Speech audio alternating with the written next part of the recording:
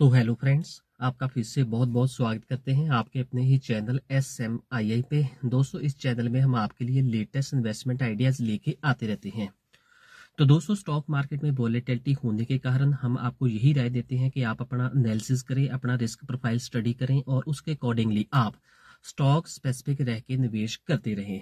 क्योंकि जो स्टॉक्स में फ्यूचर आउटलुक पॉजिटिव है। जिनके फाइनेंशियल पॉजिटिव आ रहे हैं, वही स्टॉक आपको अच्छे रिटर्न्स बना के दे सकते हैं। तो हमारे चैनल के साथ जुड़ें, हमारे चैनल को सब्सक्राइब करें, ताकि आपको सारे अपडेट जो है, वो मिलते रहें। दोस्तों, अब इंडिया में जो मोस्टली गर्मियों का सीज़न है, वो शुरू हो चुका है। तो इस तरह के सीज़न में आपको पावर सेक्टर के स्टॉक्स पे फोकस करने की ज़रूरत है। तो इस वीडियो में भी बात करेंगे कि पावर सेक्टर के लार्ज कैप स्टॉक ही, क्योंकि आजकल लार्ज कैप में अच्छी तेज़ी है। तो लार्ज कैप में आने वाले टाइम में अच्छे रिटर्न बन सकते हैं। तो आज हम बात करेंगे एनटीपीसी के स्टॉक की। इसमें कल नियरली फ्लैट ट्रेंड है 354.70 पे क्लोजिंग हुई है। यदि फाइव डे का इसका चार्ट पैटर्न देखें। तो यहाँ पे 5.44 परसेंट की बढ़िया रैली हो गई है और वन मंथ में भी इसमें 0.78 परसेंट की रैली है। और सिक्स मंथ में देखोगे फिफ्टी परसेंट की बढ़िया रैली है। और जबकि वन ईयर में देखो हंड्रेड टू परसेंट के और फाइव ईयर्स में हंड्रेड सिक्सटी परसेंट के रिटर्न है। मतलब जैसे जैसे इसको आप लॉन्ग टर्म के लिए होल्ड कर रहे हो, वैसे वैसे आपका जो पैसा है सेफली बढ़ रहा है। कहीं पे रिस्क ज़्यादा नहीं है। तो आइए इसका फंडामेंटल एनालिसिस कर लेते हैं, इसकी फाइनेंशियल रिपोर्ट और इसकी लेटेस्ट अपडेट जो है, वो हम चेक कर लेते हैं। तो नए हो दोस्तों, हमारे चैनल को आप सब्सक्राइब कर लें। और बेल आइकन का बटन ज़रूर प्रेस कर लें ताकि आने वाले सारे वीडियोस का जो नोटिफिकेशन आपको मिल जाए। तो सबसे पहले दोस्तों, ये जो कंपनी है, देखो, ये थर्मल पावर में डील करती है थर्मल पावर जनरेशन का काम करती है। आने वाले टाइम में ये जो कंपनी अब रिन्यूबल एनर्जी पे भी फोकस करने जा रही है। तो सबसे पहले इसके फंडामेंटल्स देख लो और फाइनेंशियल रिपोर्ट चेक कर लो, फिर इसका शेयर होल्डिंग पैटर्न भी बताएँगे। सबसे पहले देखो, जो दिसंबर क्वार्टर के नंबर्स आए थे तो वहाँ पे कंपनी का जो रेवेन्यू था forty three thousand five hundred seventy five crore आया था। बहुत ही बड़ी कंपनी है, जबकि जो प्रॉफिट है, वो भी fifty two hundred nine crore आया था जीयर ऑन जीयर बेसिस पे भी और क्वार्टर ऑन क्वार्टर बेसिस पे भी यहाँ पे शानदार रिकवरी देखने को मिली है। नेटवर्क देखोगे तो लास्ट फाइव ईयर से कंटिन्यूसली कंपनी का जो नेटवर्थ है, वो बढ़ रहा है। लीनियर ग्रोथ पैटर्न है मतलब कंपनी की बैलेंस शीट बहुत ही स्ट्रांग है और नेटवर्थ कंटिन्यूसली ग्रो हो रहा है। ये सबसे बढ़िया एक इंडिकेशन है।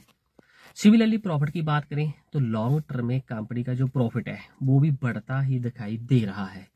तो यहाँ पे ज़ीरो ज़ीरो बेसिस पे देख सकते हो। यहाँ पे देखो लास्ट फोर ज़ीरो से कंपनी का जो प्रॉफिट है कंटिन्यूसली ग्रो हो रहा है। Twenty twenty twenty one twenty two twenty three अब फाइनेंशियल ट्वेंटी फोर के भी नतीजे आएँगे। यहाँ पे पॉजिटिव एक्सपेक्टेशन की जा रही है।